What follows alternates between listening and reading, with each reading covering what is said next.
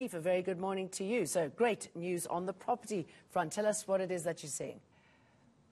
Morning, Jane. Uh, morning, viewers. Yeah, this is uh, quite unexpected, and uh, given where we are in terms of um, COVID, in terms of the economy, uh, what we're seeing at the moment uh, is something that nobody, I don't think, could have anticipated. Um, it's a tremendous increase uh, in volume of transactions um, taking place largely at the 3 million rand mark and lower, and it's based purely, uh, I believe, on the fact that we're um, enjoying at this stage the lowest interest rates that the country has seen in, in over 46 years. So, with a 7% uh, prime uh, borrowing rate, uh, buyers are coming into the market. All right, and I believe new buyers and quite young buyers too. Yeah. Uh, in general, uh, first time buyers were average age of around 37. We're now seeing them come in uh, at 35 uh, and younger. Uh, and what we're seeing is those uh, purchasers coming with secure employments are saying, right, this is a great time and a great opportunity for me to buy.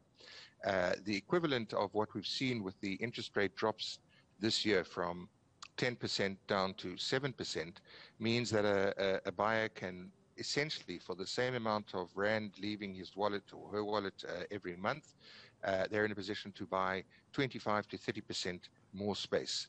Uh, they're looking at this, and uh, largely the millennials who said, "Well, we're going to rent. We don't want uh, fixed property. We don't want to be tied down." Interestingly enough, they're coming into the market. All right, and who are the sellers? I mean, why would you sell unless you absolutely have to sell when the property market is so down from that perspective? Yeah, it's, it's an interesting um, aspect, uh, Jane, that generally you don't find a balanced market. We're, we're seeing that at the moment where we have sufficient buyers coming into the market, sufficient sellers. So your sellers are people who are dealing with life changing circumstances. Many of our sellers are, are, in fact, saying, look, let me sell now and upgrade. Uh, mm. Uh, I can take a bit of money that I might have made, take my deposit, move on to my next property. If I had a two bedroomed home, I can buy uh, a three bedroomed. If I was living in an apartment, I can now move into a house uh, and take advantage uh, equally of the uh, lower interest rates at 7%.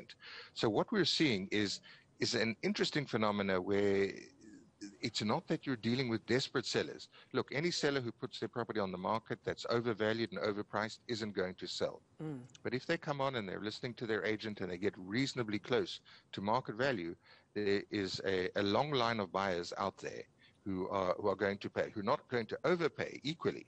They're they're saying, right, we'll pay fair uh, fair market value, but uh, we want to come into the market. And, and, other than coastal towns, which I believe are all booming at the moment. Where are people buying?